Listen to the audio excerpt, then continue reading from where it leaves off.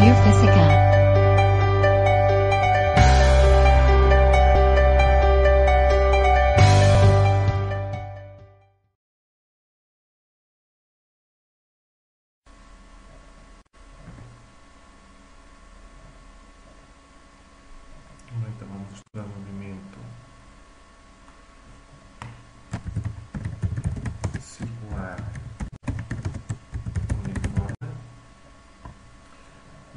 coisa que nós vamos pedir então é que se faça um esquema do simples estudo deste tipo de movimento. Portanto, o que eu proponho é que primeiro se faça um círculo Portanto, a partícula irá descrever esta trajetória. Portanto, nesse círculo, vemos então mais ou menos partes. Ora, o que me interessa a mim é então assim. Interessa-me ver é como é que a partícula, quais são as coordenadas no eixo do x e no eixo dos y da posição da partícula em cada instante. Portanto, eu vou desenhar no instante inicial a partícula começa -se o movimento aqui, o seu vetor de posição será assim. No instante, no instante imediatamente a seguir, a partícula, portanto a delta t, variará o seu movimento para aqui. No mesmo instante, delta t variará o seu movimento para ali Portanto, o que estamos a ver é que, em termos de x, em termos de coordenada x, a partícula passou deste comprimento para apenas este comprimento, no ΔT seguinte, o seu comprimento diminuiu.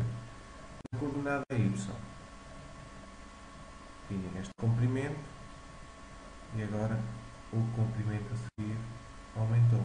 Portanto, está a aumentar até um valor máximo. Portanto, eu posso continuar a desenhar até chegar ao valor máximo. Portanto, continuando, ele vai, segundo esta coordenada, está a diminuir o seu comprimento, segundo esta coordenada, vai aumentar o seu comprimento. O que proponho a seguir é que se faça uma tabela com os possíveis valores, com os possíveis valores de eh, x e de y. Ora, para esses valores, vamos precisar de quê? Vamos precisar deste ângulo aqui. Vemos que x, as várias posições de x, vai depender da amplitude do ângulo igualmente para y, portanto varia com o cosseno segundo x e com o seno segundo y. Vou passar para a folha de cálculo para fazer esse trabalho. Vamos usar o Excel. Portanto, estou aqui agora no Excel. O que eu vou fazer então, de tempo inicial, vou considerar zero. Vou supor então que segundo x, como podemos ver, varia com o cosseno.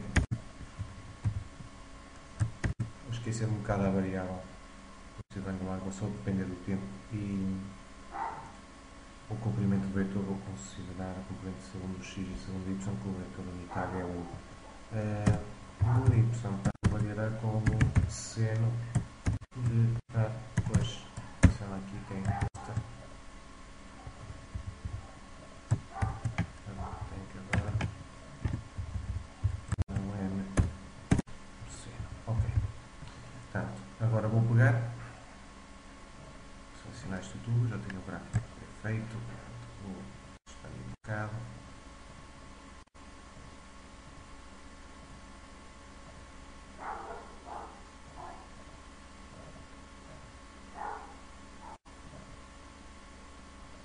Deve chegar estes valores. Ah, pois, tenho que fazer aqui é igual à célula anterior, mas eu para já vou pôr o passo de Portanto, um incremento de humanidade no tempo. Portanto, e agora sim, já deve dar. Ok? Portanto, vou fazer agora para vários pontos.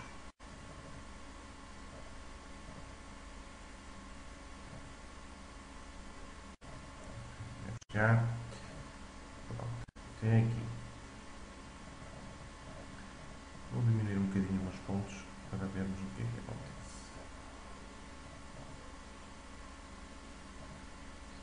Cabo.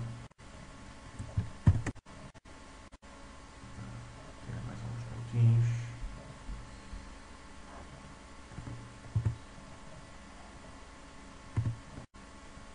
Se é suficiente, ainda não.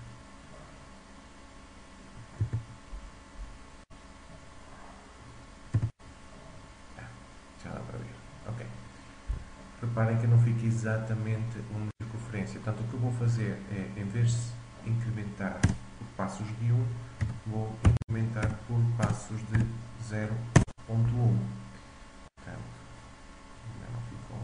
Pois não. 0. Não. 0. Vou incrementar agora passos de 0,1. Portanto, melhora bastante a minha equação. Portanto, agora vou estender mais alguns pontos. Reparem que já começa a ganhar forma. Vou estender mais um bocadinho. 105 pontos.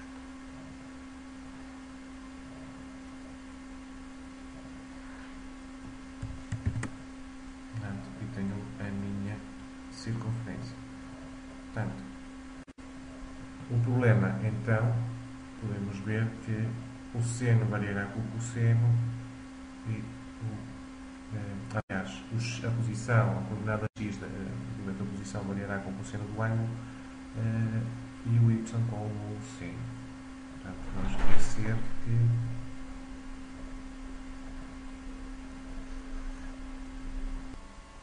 não esquecer então que o ângulo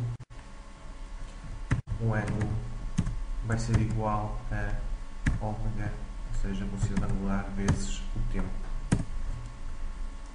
Ou seja, no fundo, neste caso aqui, a variação do ângulo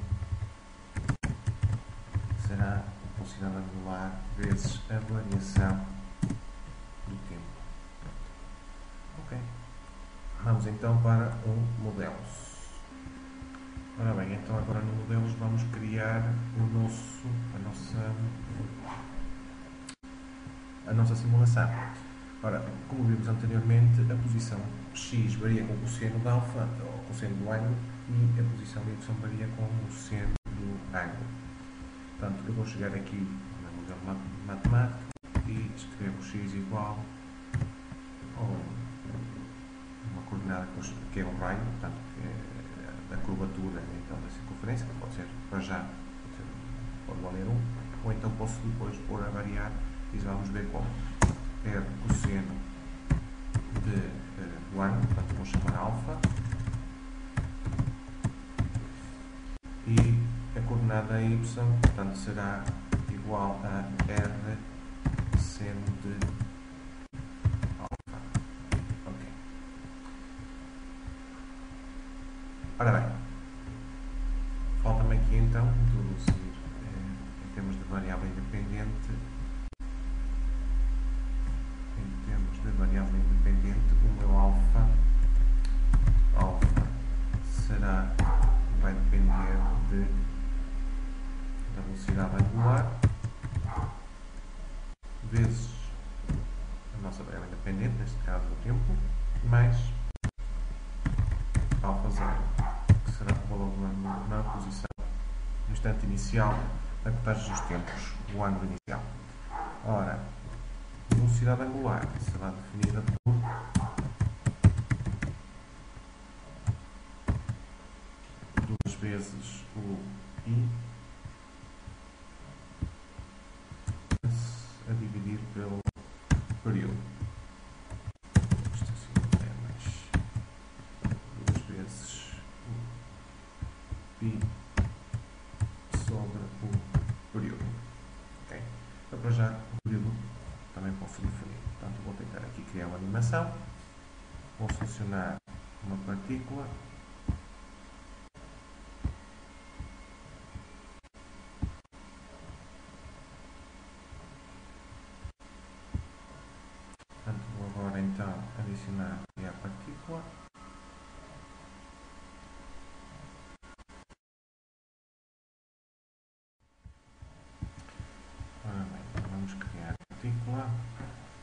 na partícula vamos pôr o horizontal x, vertical y,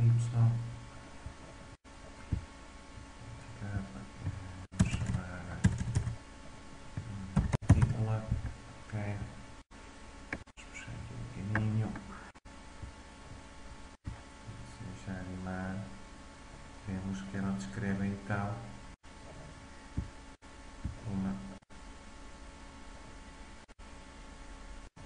circunferência.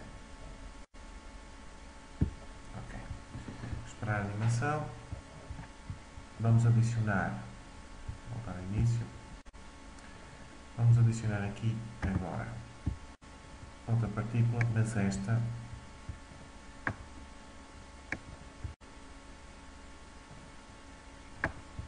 esta partícula na vertical. X0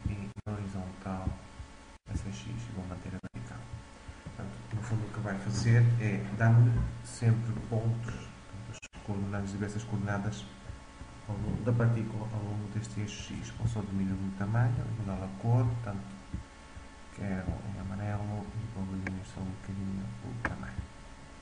Ok, vou agora adicionar outra este agora vai ser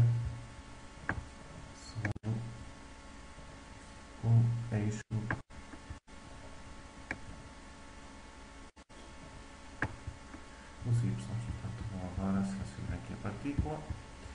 Vertical vai ser o y, horizontal vai ser 0 e fixo no 0. Vou só diminuir também o tamanho, sim, mais ou menos, e mudá-lo não só aqui a cor para, por exemplo, roxo. Ok. Animo outra vez. Vemos que a medida que a partícula vai descrevendo a trajetória circular, as posições, aqui as coordenadas das posições segundo y e segundo x, à medida que vai passando o tempo. Ou seja, nós, nós temos aqui uma visualização, visualização estroboscópica do movimento. Outro pormenor importante é que se nós variarmos aqui, a mudar aqui o nosso passo, em vez de ser 0.2, colocar aqui incrementos de 1, como podíamos ver no Excel, de 1, vou pôr um bocadinho mais, 1,5,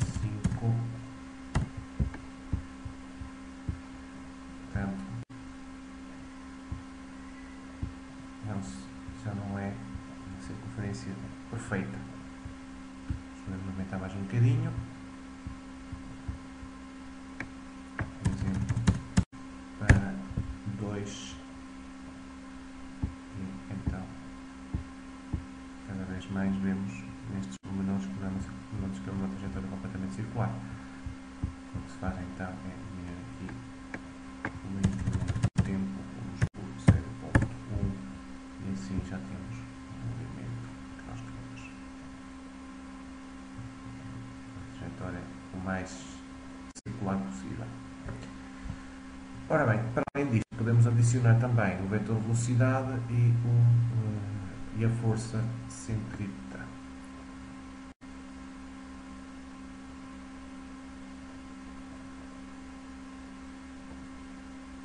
Isso já foi feito em, antes de se iniciar este movimento, obviamente já se deu uh, movimentos uh, movimentos uniforme uniformemente variados. Como já se tinha visto em outros exercícios do modelos, então a partícula para descrever uma trajetória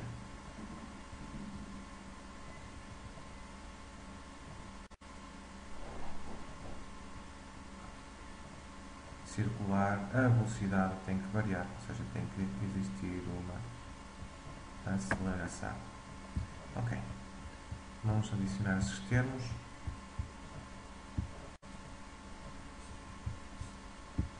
Portanto, foi o que eu fiz já nesta simulação final. Portanto, adicionei a força centrípeta, aqui é o vetor velocidade, que é tangente à trajetória. Adicionei então a massa do objeto, vai fazer com que a força centrípeta seja maior ou menor e então a variação com o raio. Posso diminuir ou então aumentar o raio para descrever aquela trajetória circular.